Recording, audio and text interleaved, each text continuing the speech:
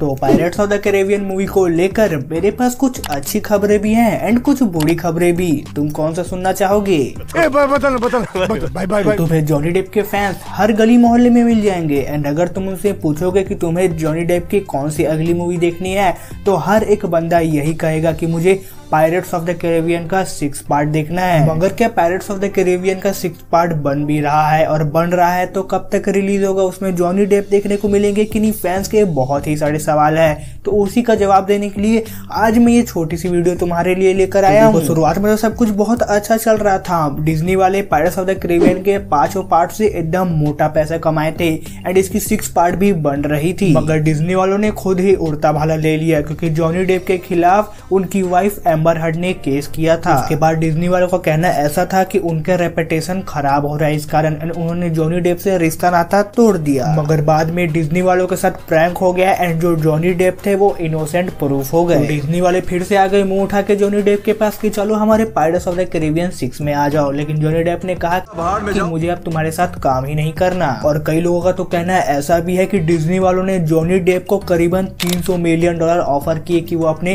Captain Jack Sparrow के role में वापस आ जाए। ये पैसे इतने ज़्यादा है कि हॉलीवुड की बड़ी बजट की मूवी बन जाती है इतने पैसे में। अभी पायरेट्स ऑफ़ द कैरेबियन के ऊपर काम चल रहा है लेकिन मूवी में आपको कैप्टन जैक स्पैरो का कैरेक्टर नहीं देखने को मिलेगा। और डिज्नी वाले नए कास्ट के साथ पायरेट्स ऑफ़ द कैरेबियन का सिक्स पार्ट को बना रहे हैं। इसको तो सिक्स पार्ट बोलना भी अच्छा नहीं लग रहा है। इसको आप स्पिन ऑफ़ बोल सकते हो पायरेट्स ऑफ़ द कैरेबियन का या फिर एक रिबूट बोल सकते हो। लेकिन अभी भी डिज्नी वाले जॉनी डेप से बात कर रहे हैं एंड अगर उनका मामला सेटल हो जाता है तो इस मूवी में आपको जॉनी डेप का एक कैमियो देखने को मिल सकता है जिनसे उनके फ़ैन खुश हो जाए। मैं तो इतना ही कहूँगा कि अगर मूवी में जॉनी डेप नहीं है तो मूवी को बनाओ ही मत सालो डिज्नी वालों। ज़्यादा अच्छा होगा नहीं तो बहुत गालियाँ खाओगे। क्योंकि कैप्टन जैक स्पैरो की जगह जॉनी डेप के अलावा और कोई भी नहीं ले सकता और लेने की कोशिश करेगा तो लात घुसा खाएगा। और मेरे पास जितनी इन्फॉर्मेशन थी मैंने अपने दोस्तों के साथ बांट दी। और अगर मूवी की एक्सपेक्टेड रिलीज़ डेट के बारे में बात करें तो वो अभी के लिए बताई जा रही है 2025 का। तब तक के लिए आप मेरी और सारी वीडियो पर गौर फरमाइए। एंड वीडियो को लाइक करके चैनल को सब्सक्राइब मार के भी जाइए। और अपने और अपने परिवार का ध्यान रखिए